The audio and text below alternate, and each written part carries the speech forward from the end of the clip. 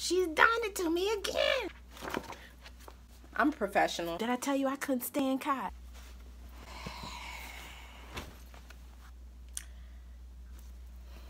Robin Hobb, y'all.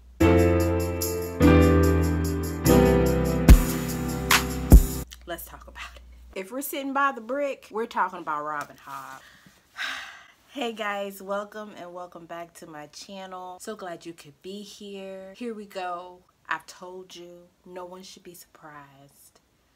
I need to talk about Robin Hobb. Ship of Magic.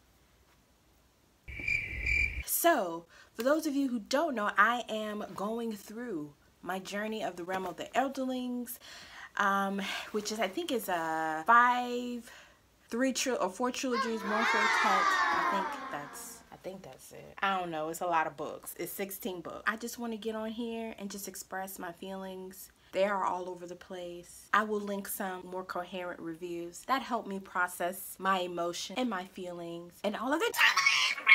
I talked about Robin Hobb and the Farseer trilogy starring who gave me fits. Anyway, we're not talking about that was my first introduction to Robin Hobb and her beautiful writing and the genius of her craft and all of the the ways that she can leave a heart speech, my heart in particular. I said I am committed, I am wholly invested, and I'm gonna go continue the Realm of the Elderlings. Ship of Magic is the first book in the second trilogy of the Realm of the Elderlings. This is a complete 180 from the Farseer trilogy. The Farseer trilogy was told through the first person of Fitz and you met multiple characters and it was generally like centralized around one location. Remember maps, you know, maps and all of that. So that that that rule still does apply. So be be careful. There's maps in this one too. So here it's it's blowing out but but th th this is a map of the cursed shores this is a spoiler for reviews the ship of magic is about a precious commodity called wizard wood, and there are the live ship traders who have an agreement with some of the Rainwild families along the cursed shore and after three generations of a trader family have passed on on this particular boat, the boat or the ship, excuse me, the ship becomes a live ship. It becomes sentient. The story opens up with the Visceret family. If I'm saying these words wrong, y'all should already know your girl. This is fantasy, so I mean, if the words don't make sense, I mean, hey, like I said, hey, I'll link some other videos, you know, that, that can say the words correctly. So it opens up with Althea and she believes that she is supposed to be the captain of the live ship However, her inheritance is stolen from her and given to her brother-in-law, Kyle. We'll talk about that in a minute. I'm not trying to get my blood pressure up again. So the story goes from there. That is the main central story, but what makes Ship of Magic different from the Farseer um, trilogy is that it's told in third person. There are multiple um, characters. I mean, we follow we follow a, a, a pirate we follow some animals that are like serpent, water serpents, and follow Althea and the entire Visceret family dynamic. So Althea, her sister, her brother-in-law Kyle, her nieces and nephews. So it's a complete cue the family drama. Mm the family drama, honey. when we know we here for it, but we act like we not, it's on a whole nother level. It follows so many different things and the world is so expansive. One thing that stood out to me about Ship of Magic and compare well differently from Farseer was like the setting of the six duchies was so cold and wintry and very like kind of nostalgic that you would think of like fantasy Viking-esque kind of thing like stews and soups and furs and snow and you know that kind of um, uh, atmosphere but a ship of magic we're in a warmer climate. There um, we're we're traveling down different channels and port we're seeing different ports and different types of cultures and people and and different you know this is the world is just completely opened up. And so whereas with Farseer it was very centralized to Fitz and specifically we were in his head but with Ship of Magic we're in the third person and we're just all over the place all over this beautiful mysterious alluring world. And i need to know about these rainwild folk and this cursed shore did what kind of bargain did y'all make? I need to know. But robin hobb she ain't gonna tell you every. If you are curious to read the Liveship Trader you could skip the farseer trilogy. I don't recommend it. I think that the Farseer trilogy is a great place to start to really get into the realm of Elderlings. But, you know, if you're not really into the first person and all of that, I think Liveship Trader is a great entry point. It's completely 180. Nothing is spoiled from Farseer. You just jump in and you're like, what, who are these people? What are we doing? And before you know it, you're here. So my experience reading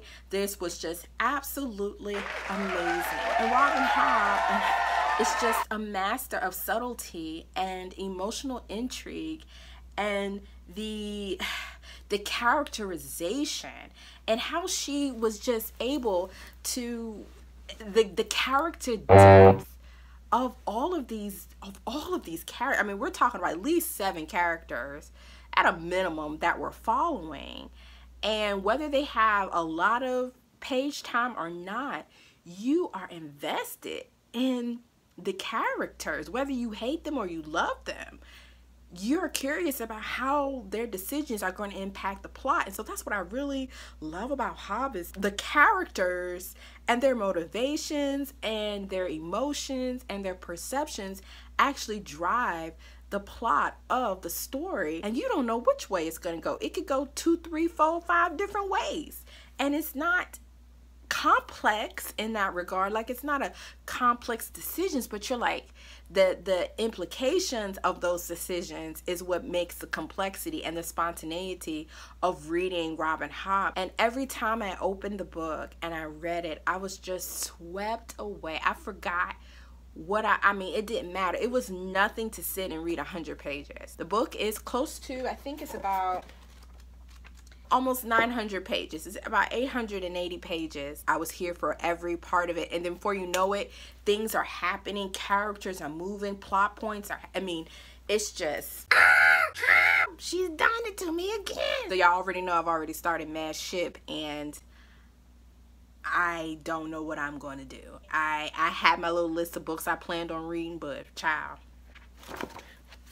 I'm professional. I told the book to do that. Another thing I enjoyed about reading um, Ship of Magic was the lore and learning about this other part of the world and what it all means. I have more questions. The story was just so intriguing and so alluring and mysterious. And then you add on the characterization of all of these different characters who it was like they were so real. It's like you walking in on a conversation that they're having with someone. That's how intimate the writing is and how beautiful Hobb's writing is. And you know, it is slower paced. It's not boring, but it is slower paced. So if, you know, reading slower paced books or, you know, really sitting with characters and just enjoying being a part of a story, you know, if you're just trying to get to the magic and getting your questions answered and, you know, you really want to pace, pace, here we go, here we go.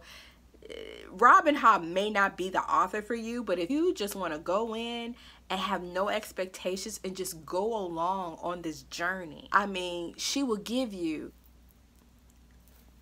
my TBR about to be in the trash. Whatever I planned on reading, I ain't gonna read. I'm gonna be reading Robin Hobb. I gave this book five stars. Who was surprised? I was a little concerned that everyone, you know, it's like no Liveship Trader is gonna be even better than Farseer, and I just couldn't believe it. But y'all was right. Robin Hobb really took it to a whole nother level with this. Even though she's writing in the third person, it doesn't feel like it. Everything is so flushed out beautiful and heart-wrenching. I mean, there's so many characters that I love, but let me tell you about the characters I didn't love. There's a character, if you know, you know, there's a character who I absolutely love. I can't stand Kyle. If your name Kyle, I ain't mad at you. I'm mad at Robin Hobb's Kyle. I can't stand. I loathed him. Oh, couldn't stand. he was for the guy. And I couldn't stand him on the page. Did I tell you I couldn't stand Kyle? He was about to get a whole whopper. If I could, a double whopper, okay?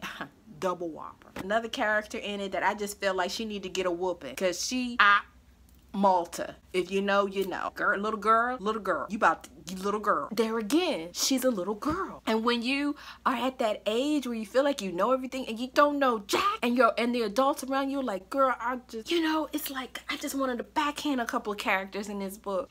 I understand and that's what that's what the character complexity that Hobb can write in her stories is just absolutely phenomenal because you understand his reasons or characters reasons for what they do but how they go about it is so trash. And it just invokes all of these emotions from you and I would be just like ah! and then I would feel like oh my god how how is this happening? No. It was just so